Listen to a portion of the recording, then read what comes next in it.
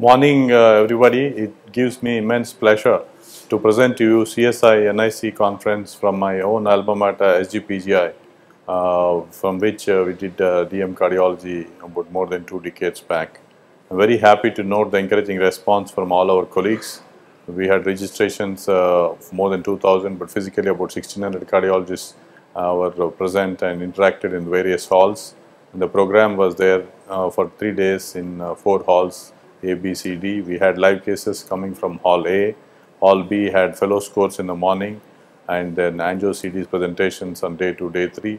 Hall C were the symposium sessions in which we had uh, interesting conceptual symposiums on acute stroke interventions, structural heart interventions, and then venous disease symposia along with the CTO symposium.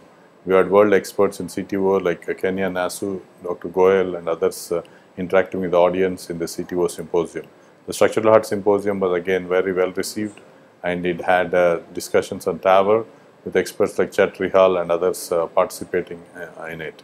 Acute stroke interventions, I want uh, more and more cardiologists to get involved in this uh, new exciting area where there is lack of proper professional expertise with very few interventional radiologists available.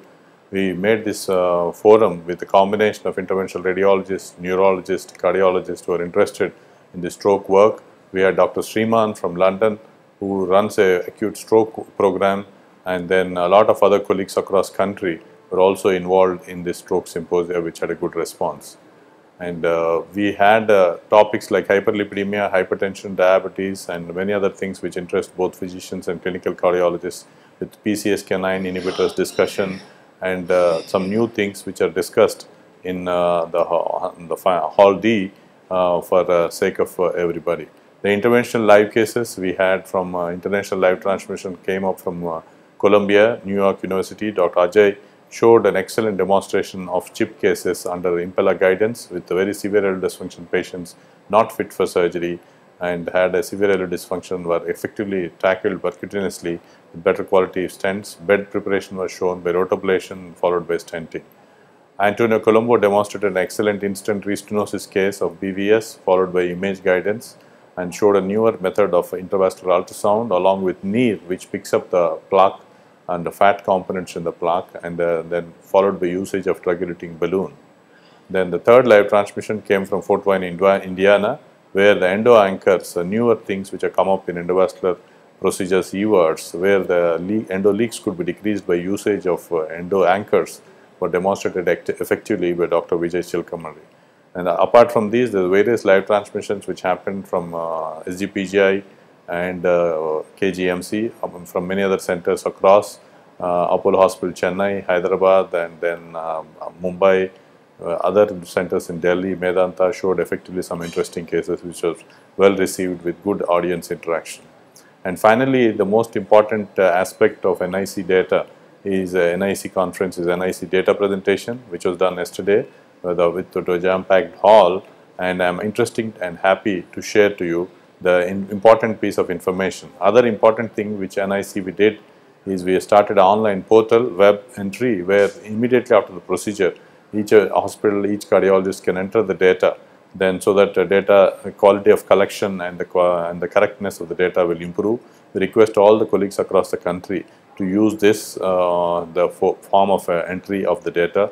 The traditional form of collection of data by JVS group also will continue for some more time the important messages conclusions of NIC registry where we could collect the data from 709 centers across the country.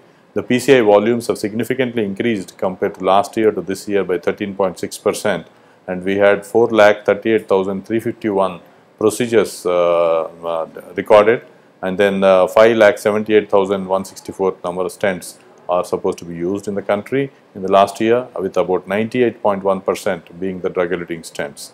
And about 21 centers in the country are performing more than 2000 PCIs per year. That constitute about roughly about one-fourth of the procedures across the country.